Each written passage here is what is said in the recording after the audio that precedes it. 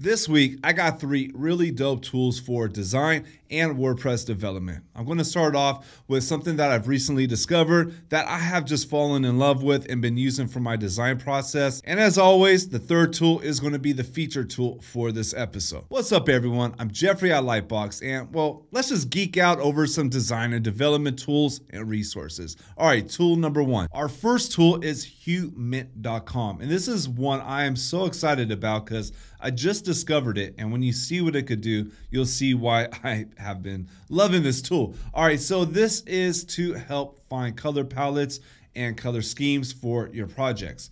It kind of works like Kuler.com in a way, like you can go ahead and generate. You can find colors that you like. Let me find one I like. Well, do you know what? I like that last one. Let's say I really like this purple. I could lock it in. So that part is cool right there. And then you could go ahead and generate it and put together your color palette. Now, what I really like about this, it does a whole lot more. So let's say we want to go to our website and see how this will look on a website. We could go over here, click on website and start to get an idea and a feel on how this design will actually look like.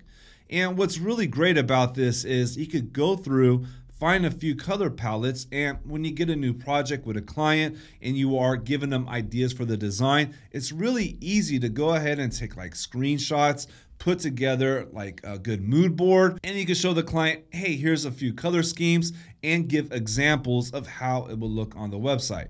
Now if you go down here on the left toolbar you're going to see there's all kinds of options. You could go either with a regular website or a monochrome you could choose how many accent colors if you want something minimal.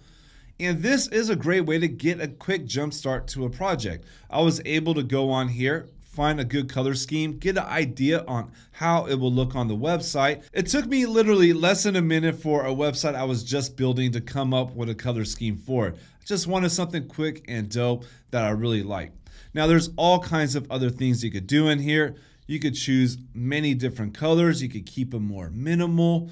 Uh, you could just keep it between two colors if you want to go with a minimalistic style look and feel. You got gradients.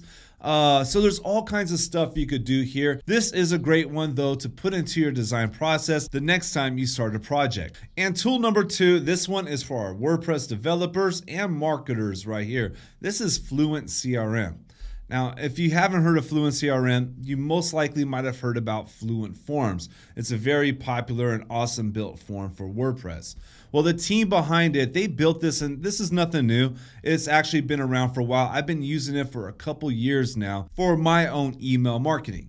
And just to wrap it up and sum it up, what Fluent CRM is, this is basically like having MailChimp built into your WordPress website. All the data stays with you inside your website, and you run your own campaigns and all that. Now, there is a lot to go through here, a lot that I could say about this. And if you would like to learn more about Fluent CRM and get a deeper dive into it, just let me know inside the comments. If I get enough people asking, I will make a dedicated video for Fluent CRM because I have been using this now for a couple years.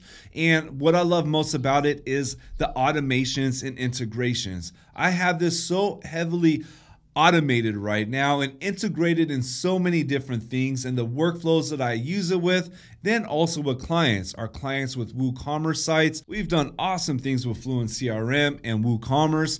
Uh, this is a powerful tool, super powerful. But just remember, with great power comes great responsibility. So Please, no spamming. All right, it's time now for tool number three, which is our highlighted tool for this video. And our highlighted tool for this video is WP Umbrella.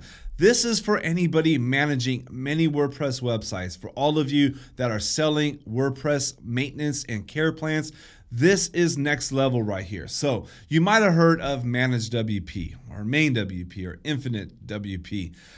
The thing about those, and I use ManageWP for years while doing our WordPress maintenance plans, the thing about it is it's old and outdated. It feels old and outdated. Now, WP Umbrella, this is new and clean. It is so easy to use. It's also very cost effective. And the one thing about it that I like a lot is the team behind it is really active as far as updating it and turning this into the full out solution that is going to replace ManageWP. I personally have replaced ManageWP, and now we use WP Umbrella to manage all of our client websites on our maintenance plans. So this is something definitely to check out. And again, if you want a more in-depth look into WP Umbrella, drop them in the comments. The more comments I get on a specific tool, the more chance I'm going to make a dedicated video for. I'm probably going to make one anyways for this one because it is that good.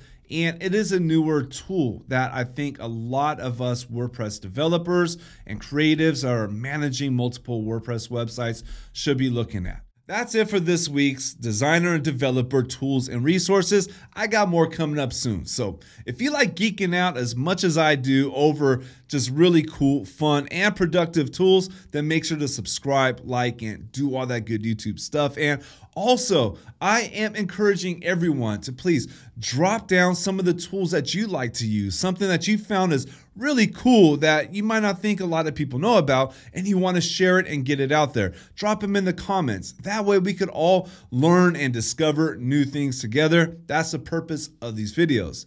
All right, I will be back again soon. Thank you.